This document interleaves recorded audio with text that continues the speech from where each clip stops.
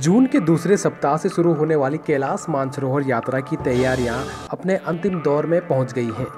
यात्रा की nodal agency Pithoragarh जिला प्रशासन और सह एजेंसी कुमाऊं मंडल विकास निगम ने यात्रा को सफलतापूर्वक संचालित करने के लिए कमर कस ली है। इस बार पैदल मार्गों की खस्ता हाली को देखते हुए यात्रियों को पिथौरागढ़ से गुंजी तक की यात्रा हेलीकॉप्टर से कराने का निर्णय लिया गया है।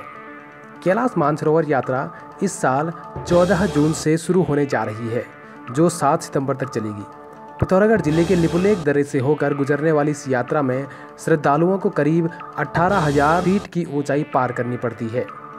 विश्व की सबसे दुर्गम यात्रा में शुमार इस यात्रा में श्रद्धालुओं को कठिन पहाड़ी रास्तों और बीच से गुजरना पड़ता है। लेकिन इस साल यात्रियों को लगभग बावन किलोमीटर कम पैदल चलना पड़ेगा जिससे यात्रा और सुगम हो जाएगी। दरअसल पिछले साल मानसरोवर यात्रा के मार्ग में बादल फटने से भारी तबाही मची थी। जिसके चलते यात्रा मार्गों को भी भारी नुकसान पहुँचा था, जिसे देखते हुए जिला प्रशासन ने विदेश मंत्रालय को इस बार पिथौरागढ़ से गुंजी तक की यात्रा हेलीकॉप्टर से कराने का आग्रह किया था, जिसे स्वीकार भी कर लिया गया है। इस साल जो है कैलाश मानसरोवर यात्रा 14 जून से स्टार्ट हो रहा है और 7 सितंबर तक चलेगा। और इसमें टोटल 18 दल जो है उसमें जाएगा जाएगा और प्रत्येक दल में जो है करीब 60 लोग रहेंगे। और इस बार पिथौरागढ़ से गुंजी तक का जो रास्ता है वो हेलीकॉप्टर के माध्यम से जो है भेजा जाएगा। और गुंजी में जो है दो दिन का अक्लेमेटाइजेशन रहेगी। उसमें होम स्टे आदि जो है नाभी में करने का विचार है।